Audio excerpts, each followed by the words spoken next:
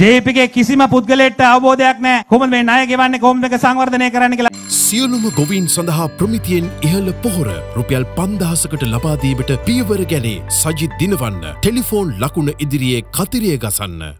රස්සාවක් කරලා නැහැ ව්‍යාපාරයක් කරන එක්ස්පීරියන්ස් එකක් නැහැ. එතන ඕගලන් පාරට බෑලා ගහද්දි ඕගලන් හිතනවද කොටාබේ රාජපක්ෂ වගේ දාලා යයි කියලා? පොලිසිය හමුදාවේ 5000 10000ක් මැරිලා අඩුම ගානේ ලක්ෂයක් තරුණයෝ බිලි දෙන්න වෙනවා මුන් අපිට ආපහු පළවා හරින්න.